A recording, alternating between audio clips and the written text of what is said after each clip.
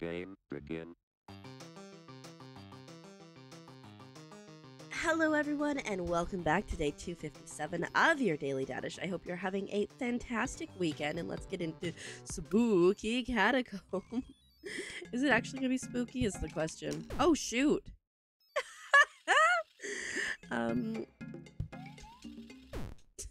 I I think I gotta hit that like the second it's coming out of the water, or the second it's going under. Nope. Um, if we just go like uh, maybe we wait till it goes down. Hmm. this is. Who would have thought that this would be the hardest part? Wait till it goes down. Okay, there we go. Okay. Maybe the water won't kill me. No, I've landed. I literally landed in the water. Okay. I hate this, but it's okay. So basically, what happened there was I didn't double jump. Or actually, I double jumped too soon. Okay, we're just lear we're just learning the course. Sheesh, that's quick. Okay, don't die. Oh shoot. Okay, here's my kid. Oh, that was rough, guys. That was really bad.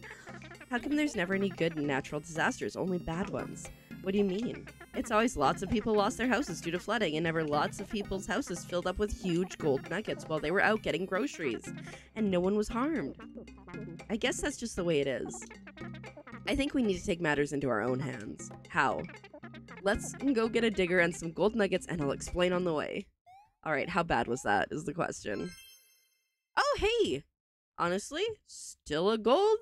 Barely, but still a gold. I'm perfectly content with that, considering how rough that was, especially at the start. Anyways, thank you so much for watching. Make sure you do subscribe so you don't miss day 258 and beyond, and we'll see you here tomorrow, same place, same time.